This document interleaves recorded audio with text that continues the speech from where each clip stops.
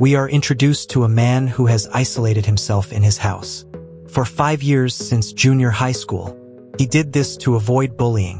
One day, his phone shines brightly, and when he regains consciousness, he is greeted by a goddess. The goddess tells him that he has been chosen to be reincarnated. He will live in a world full of magic. Because of that, the goddess gives him cheats so that his life won't be difficult. The man agrees to be reincarnated. He wants to live a peaceful life, to relax all day without thinking about anything and live lazily, then suddenly fall asleep. When he wakes up in the other world, he realizes that he is in the body of a newborn baby. He still retains memories from his previous life. His father is a king of a kingdom, and his mother, known as the Lightning Princess, once defeated the Demon King. The baby has the mark of the king on his left chest. They are very proud of their child. After that, they want to measure the baby's magical energy. The king has high expectations because the child is the offspring of a lightning princess. A number appears on the magic measuring crystal, and they are shocked because the baby's magical. Energy is only level 2. Furthermore, the baby doesn't have any attributes and can only master defensive magic. Both parents are worried that their reputation will be ruined when the people find out about their child's existence. They decide to spread a rumor that the newborn Prince Reinhardt was actually born stillborn. The king orders his servants to throw Reinhardt deep into the forest. The goddess who reincarnated in panics when she sees this. She forgot that the magic energy measuring device in that world can only display up to two digits. Moreover, she forgot to add attributes to him. In fact, the goddess had given him a cheat so that his magical energy level was 1000. 2. Reinhardt is currently alone in the forest. He cannot move freely because he is still a baby. He wants to try magic since he was told earlier that he could use defensive magic. He imagines it and easily creates a cube-shaped shield. He can enlarge and change the color of the shield. It seems like he can create anything just by imagining it. For trying it, he realizes that his defensive magic can be used on himself. Reinhardt appears as if he is floating, even though there is a shield carrying him. Soon, a giant red fox ambushes Reinhardt. Luckily, his shield is sturdy enough to withstand the fox's bite. He creates many small shields to attack the fox. However, his attacks have little effect. Then, he comes up with the idea of lifting the trees around him with his shield. Finally, his attacks have an impact on the fox. Unfortunately, that was still not enough to defeat it. Reinhardt decided to fly the large trees along with the earth beneath them. When the fox saw this, it suddenly spoke and said that it wanted a surrender. Reinhardt thought that the voice was just his imagination. The fox pleaded once again to surrender. Reinhardt finally realized that the voice was coming from the fox. He stopped his attack. The fox then explained that it wanted to eat Reinhardt to restore its magical energy. It never expected that a baby could be this strong. Reinhardt wanted to say something, but he couldn't form coherent sentences because he was still a baby. He had the idea to create a shield that could transform his thoughts into words. He attached the shield to his throat, and indeed, he could now speak normally.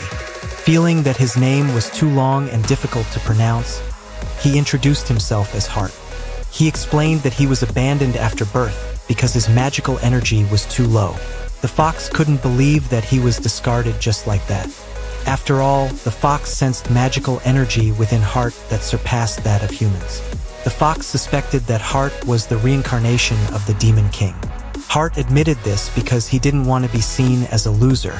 Moreover, he used to be an unemployed shut-in. The fox immediately believed it the fox offered itself to be killed because it had lost the fight. Hart felt uncomfortable with the idea of killing it. He forgave the fox as long as it wouldn't attack him again in the future.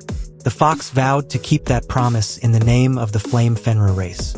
Finding the name of the race cumbersome, Hart called the fox Flay. Hart asked for permission to leave now that their problem was resolved. However, Flay didn't want to say goodbye first. Hart had saved it and even given it a new name. And that happened, a contract was formed. Therefore, it was only fitting for a servant to dedicate itself to its master. While Flay was still talking, Hart suddenly felt weak and couldn't fly with a shield anymore. It seemed that this problem wouldn't be solved with magic alone. Indeed, Hart needed breast milk. For the sake of his master, Flay would do its best. It began to transform into a human. However, Flay still couldn't produce breast milk. It needed to go through the reproductive process first. They were still helpless and couldn't do anything. At that moment, Flay sensed someone approaching. Hart commanded Flay to check on the person, and Hart created a shield that allowed them to communicate privately over a distance.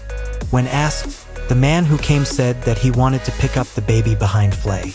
Flay immediately refused.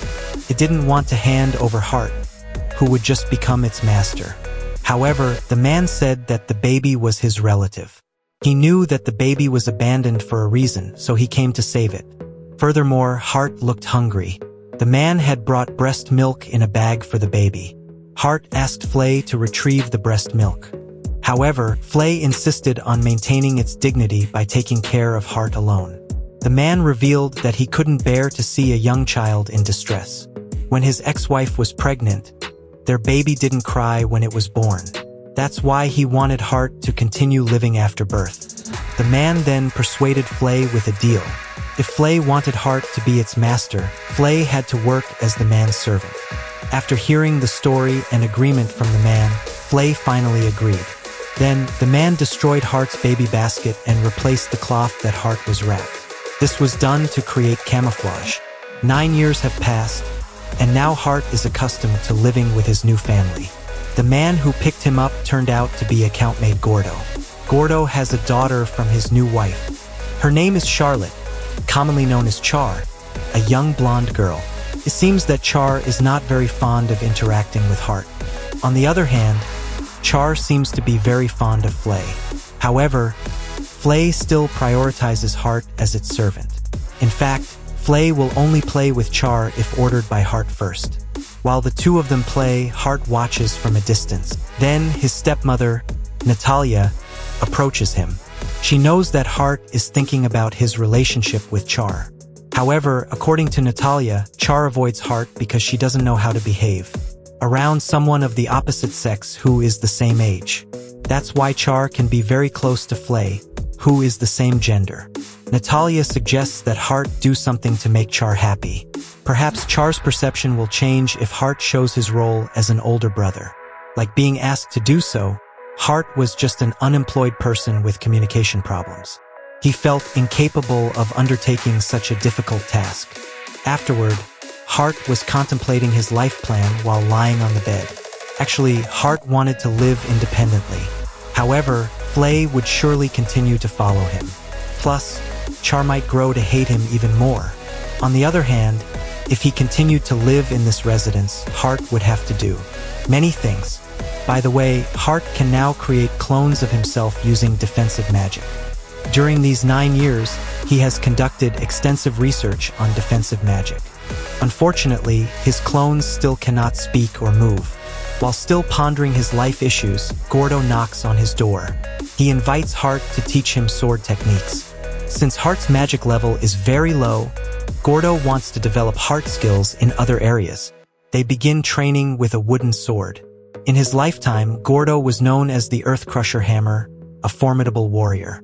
Since Hart didn't want to feel pain, he covered his body with defensive magic. Hart immediately leaps and swings his sword. Although Gordo can dodge it, he seems surprised by the attack. Moreover, Hart's wooden sword breaks when it touches the ground. Now it's Gordo's turn to attack. As the sword is about to hit him, Hart manages to dodge perfectly by leaping high into the air. In fact, that attack could only be avoided if someone had magic energy at level 30 or higher. Since then, Hart has always been amazed by his abilities. In the past, he even created his own magic level measuring crystal that could measure up to three digits. He suspected that maybe his magic level reached three digits, but when measured, the result remained the same 002. Hart immediately gave up when he saw the result. Besides, it was said that the highest magic level in human history was 77. So Hart felt it was pointless to test it to four digits. In his opinion, the cheat he received from the goddess was the ability to use defensive magic with high efficiency. Meanwhile, Char watches Hart sword training from a distance. In the evening, Gordo tells Natalia about the earlier incident. Char is sleeping on her mother's lap. According to Gordo's opinion, Hart is a newly awakened demon race. Based on the family's secret information, someone in the past had a connection with creatures from the demon race. There is a possibility that Hart was born with those characteristics. It is true that Hart doesn't have horns and a tail, but the royal symbol he possesses remains a mystery. In fact, even Flay, who is a demon race, idolizes Hart. However, Natalia cannot bear to think of Hart as a demon race. Gordo also still considers Hart as a human.